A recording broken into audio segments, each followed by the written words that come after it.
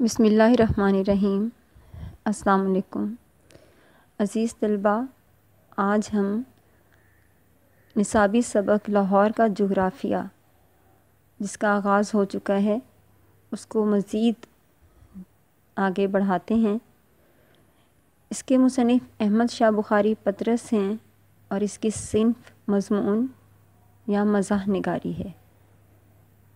और ये अहमद शाह बुखारी पतरस के मजामी के मजमू पतरस के मजामी से ली गई है। इस सबक में उन्होंने लाहौर जैसे तारीख़ी अहमियत रखने वाले शहर में जो कुछ भी उसकी देखभाल ना होने के सबब खामियाँ आ रही हैं, उनको अपने मज़ाही अंदाज में हल्के फुल्के तंस का निशाना बनाया है। तमहीद महल वकू और हदूद अरबा के बाद अब मुसनफ़ लाहौर की आबो हवा के बारे में बताते हैं कि आबो हवा लाहौर की आबो हवा के मुतालिक तरह तरह की रिवायात मशहूर हैं जो करीबन सब की सब गलत हैं। यानी लाहौर शहर की आबो हवा जब बहुत अच्छी हुआ करती थी तो मुसनफ़ कहते हैं कि अब ऐसा नहीं है। और हकीकत यह है कि लाहौर के बाशिंदों ने हाल ही में ख्वाहिश ज़ाहिर की है कि और शहरों की तरह हमें भी आबो हवा दी जाए। यानी लाहौर शहर के लोग तो ख़ुद आबो हवा साफ़ सुथरी आबो हवा के लिए परेशान हैं। म्यूनिसपलिटी यानी म्यूनिसिपल कमेटी जो कि शहर में फ़लाह बहबूद के काम करती है मुसनफ़ तंजिया अंदाज में और मज़ाहिया अंदाज में कहते हैं कि बहुत बहस व तमहीस यानी बहुत गौर, बहस, तकरार के बाद इस नतीजे पे पहुँची है कि तरक्की के इस दौर में जब दुनिया के कई ममालिक को होम रूल मिल रहा है। होम रूल से मुराद है कि ख़ुद मुख्तार हुकूमत, अपनी हुकूमत ख़ुद कायम करने की इजाज़त होना।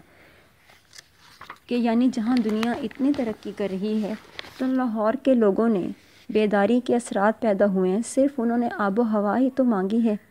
लिहाजा अहले लाहौर की ये ख्वाहिश नाजायज़ नहीं है। बल्कि हमदर्दाना गौर व गौस की मुस्तक है।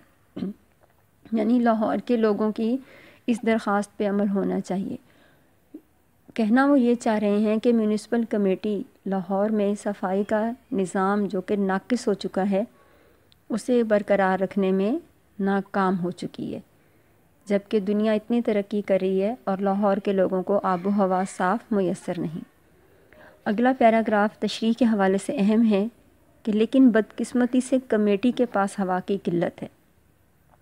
कि म्यूनिसिपल कमेटी के पास साफ़ हवा की कमी है, मुराद ये है म्यूनिसिपल कमेटी साफ़ हवा को निज़ाम कायम रखने में नाकाम हो चुकी है। इसलिए लोगों को हिदायत की जाती है कि मफाद आमा के पेश नज़र कि सब लोगों का फ़ायदा देखते हुए अहले शहर हवा का बेजा इस्तेमाल ना करें, यानी सांस भी ज़रूरत से ज़्यादा ना लें।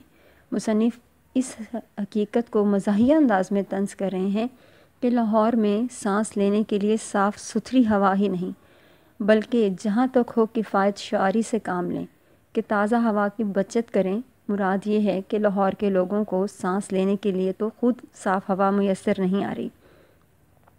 चनाचे अब लाहौर में आम ज़रूरियात के लिए हवा की बजाय गर्द और ख़ास ख़ास हालात में धुआँ इस्तेमाल किया जाता है, यानी कि लाहौर के लोग अब गर्दो गुबार से भरी हुई फ़ज़ा और धुएँ से भरे हुए माहौल में सांस लेने पर मजबूर हैं और कमेटी ने जा बजा गर्द और धुएँ के मरकज़ खोल दिए हैं। बजाय इसके कि कमेटी लाहौर शहर की साफ़ सुथरी हवा को बरकरार रखती, कमेटी ने मज़ीद क्या किया कि गर्द गुबार के मराकज़ खोल दिए हैं, जहाँ पे ये मरकबात मुफ़्त तकसीम किए जाते हैं। यानी जहाँ अहले शहर को जहरीले मादों से भरी हुई हवा जो है, वो उनको उसमें सांस लेना पड़ता है। उम्मीद की जाती है नहायत तसली बख्श नतज बरामद होंगे। मुसनफ़ फिर मुझे का खेज़ अंदाज में कहते हैं कि यकीनन म्यूनिसिपल कमेटी का ये कदम बहुत अच्छा होगा, यानी कि म्यूनिसिपल कमेटी की नाकामी को निशाना बनाया है। इसके बाद वो पानी के बारे में बात करते हैं कि बहम रसानी आपके लिए कि लाहौर में पानी पहुँचाने के लिए एक स्कीम अरसे से कमेटी के ज़ेर गौर है। यानी कि काम नहीं किया जा रहा, सिर्फ़ मंसूबे बनाए जा रहे हैं। और ये स्कीम निज़ाम सक्के के वक्त से चली आती है। निज़ाम सक्का, जिसने एक बादशाह को डूबने से बचाया था और उसकी ख्वाहिश पे उसने एक दिन हुकूमत भी की थी। यानी कि ये स्कीम बहुत पुरानी है। निज़ाम सक्के के हाथ के लिखे हुए मुसवदात यानी तहरीरें तल्फ ख़त्म हो चुकी हैं।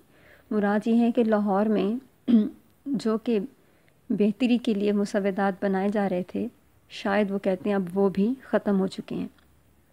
और जो बाकी हैं, उनको पढ़ने में दिक्कत आ रही है, यानी कि बाकी मुसवदात जितने भी हैं, उन्हें भी पढ़ना नामुमकिन हो रहा है।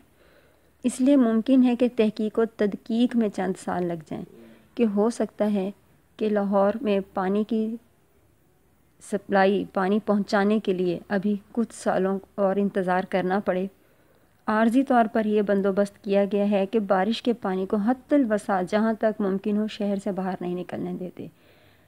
यानी पानी की निकासी का निज़ाम नहायत नाकस है और बारिश का पानी शहर से बाहर नहीं जा सकता। उम्मीद की जाती है कि थोड़े ही अरसे में हर मोहल्ले का अपना दरिया होगा। वो मज़ाह पैदा कर रहे हैं जिसमें रफ्ता रफ्ता मछलियाँ पैदा हो जाएँगी और हर मछली के पेट से एक मेटी की एक अंगूठी निकलेगी, जो राय दहिंदगी यानी वोट डालने के मौके पे राय दहिंदा वोटर पहन के आएगा। फिर उन्होंने मजाही अंदाज में कहा कि निज़ाम सक्के के मुसवदात से इस कदर ज़रूर साबित हुआ कि पानी पहुँचाने के लिए नल ज़रूरी हैं। चुनाची कमेटी ने करोड़ों रुपए खर्च करके जा बजा नल लगा दिए हैं।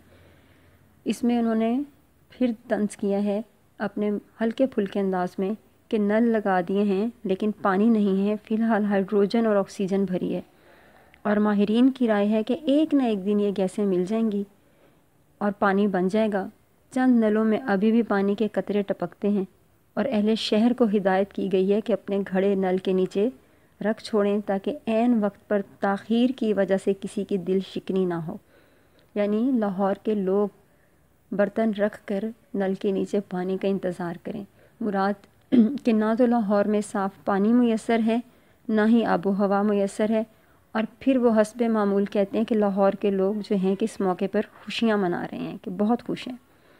और ज़रा आमदो रफ्त के बारे में बताते हैं कि जो सयाह लाहौर तशरीफ़ लाने का इरादा रखते हों, उनको यहाँ के ज़रा आमदो रफ्त के बारे में चंद चीज़ें समझ लेनी चाहिए।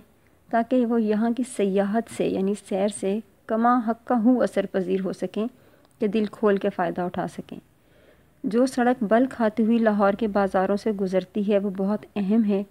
और ये शेर शाह सूरी ने बनवाई थी कि जिसने ये पठान कबीले का सरदार था और उसने शहनशाह हमायूं को शिकस्त देकर 500 बरस तक अपनी ही हुकूमत कायम की थी। यानी कि लाहौर की सड़क बहुत कदीम है। चूँकि ये आसार कदीमा में है, इसीलिए इसमें कोई रद्दबदल तब्दीली नहीं की गई। मुसनफ़ फिर लाहौर की सड़कों को मजाहिया अंदाज में तंस कर रहे हैं कि सड़कों की मरम्मत पर कोई तवज्जो नहीं दी गई। वो कदीम तारीख़ी गढ़े खंदकें जूँ की तू मौजूद हैं, जिन्होंने कई सल्तनतों के तख्ते उल्टे, यानी कि सड़क में गढ़े बन चुके हैं। और आज भी लोगों के तख्ते उलटते हैं और अजमत रफ्ता की याद दिलाते हैं कि आज भी लोग इन गढ़ों में गिर के हादसाती तौर पर जो है कि वो अपनी जानों का नुकसान कर बैठते हैं। फिर वो तांगे के बारे में मज़ाक में बता रहे हैं कि बाज़ लोग इबरत पकड़ने के लिए इन तख्तों के नीचे दो पहिए लगा लेते हैं, हुक टांग लेते हैं और फिर उन्होंने मज़ाक में कहा कि तलाह में इसको तांगा कहते हैं और शौकीन लोग इस तख्ते पर मोम जामा, प्लास्टिक मंड लेते हैं ताकि लाहौर की टूटी फूटी सड़कों से जब तांगा गुजरे तो फिसलने में आसानी हो। तांगे में बनास्पति घोड़े इस्तेमाल किए जाते हैं, यानी नकली मसनू कमज़ोर, क्योंकि बनास्पति घोड़ा दुमदार सितारे से मिलता है। इसकी साख्त में दुम ज़्यादा और घोड़ा कम पाया जाता है, यानी घोड़े भी कमज़ोर से हैं। हरकत के वक्त अपनी दुम दबा लेता है। हरकत नहीं करता, चलता तेज़ी से नहीं, और ज़ब्त नफ्स से अपनी रफ़्तार में एक संजीदा अतदाल पैदा करता है। ताकि सड़क का हर तारीखी गढ़ा, तांगे का हर हिचकोला आप पर अपना नक्श साबित करता जाए कि ताकि जब भी आप लाहौर की टूटी फूटी सड़क से गुज़रें वो जो धचके लगते हैं, वो, उससे आपका हर मसाम लुफानंदोज़ हो सके कि वो आपको लाहौर की सैर जो है, वो पुरलुत्फ़ में करा सके। तो इसमें मुसनफ़ ने सिर्फ़ अपने मज़ाहिया अंदाज में लाहौर की खामियों की, जो कि सड़क टूटी हुई होना आबो हवा ना होना, उसकी निशानदही की है। आज का लेक्चर यहाँ पे अख्ताम पजीर होता है। इन कल इस लेक्चर को मुकम्मल करेंगे।